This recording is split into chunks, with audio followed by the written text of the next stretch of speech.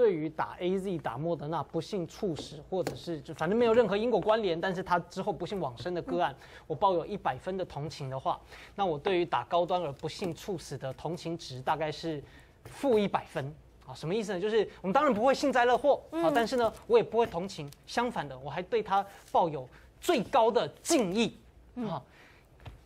这俗话说得好，良言难劝该死鬼，慈悲不度自绝人。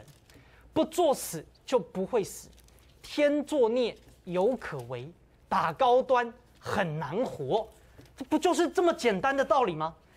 高端本土疫苗有风险，这也不是今天才讲或昨天才讲，讲了好几个月了嘛。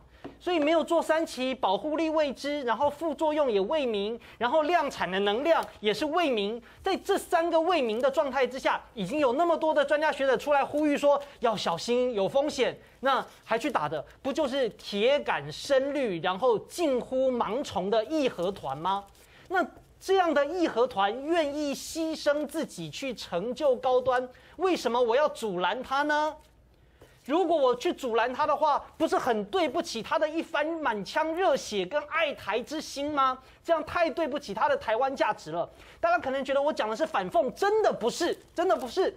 当陆先生过世的时候，对吧？大家就翻出他过去的文章，他觉得就算打疫苗死了，那也叫做向病毒献祭，他自己都这么觉得啦。所以有什么好哀悼，有什么好伤心？绝对不可以因为陆先生的死，或者是别人打了高端的死，就中断了继续施打高端。这是什么？你就是侮辱他的遗志啊！他就是希望大家都要去打，就算打了也是成就一番了不起的事业，那叫献祭。什么叫献祭？就你奉献了之后，你要换一个更大、更了不起的东西，比如说台湾价值。嗯，好，所以吧，所以人家。用性命去追求台湾价值，这个讲好听叫做烈士。那为什么要阻拦别人当烈士呢？我没这个兴趣，我也不会去阻拦他。我们是把重点要求放在要保证人人都不会被逼迫打高端。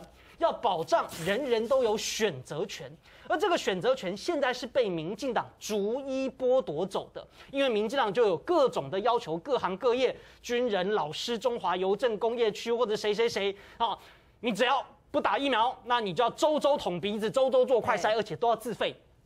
所以应该是把重点放在争取必须废除这种很莫名其妙的决定。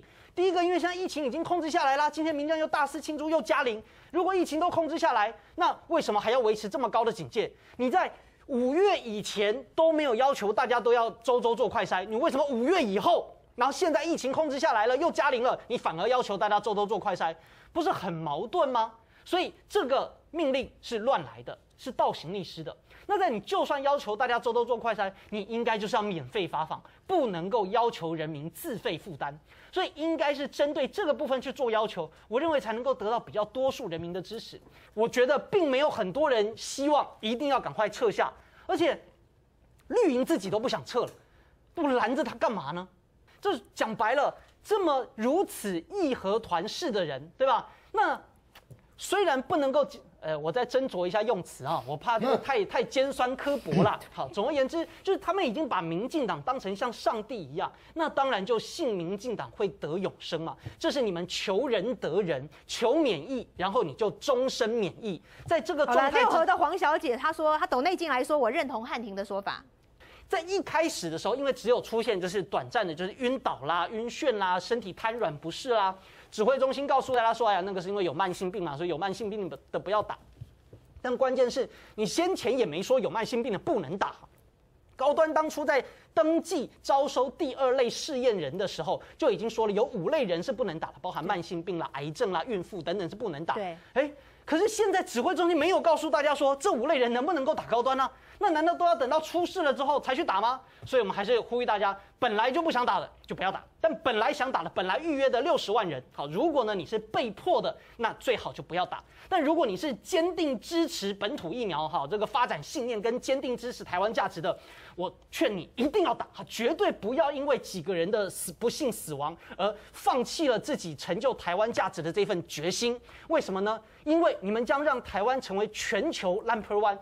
全球的疫苗做第三期试验，顶多做个四万人、五万人，台湾能够一口气做六十万人，举世罕见，了不起。如果没有这六十万人的牺牲奉献，我们如何得知高端到底好不好？说真的，我们不是讲说高端一定烂、一定糟哈、一定这个不好，不是，而是说因为没做三期保护力未知，然后没有大规模的这个实实验，所以副作用也未明。哎。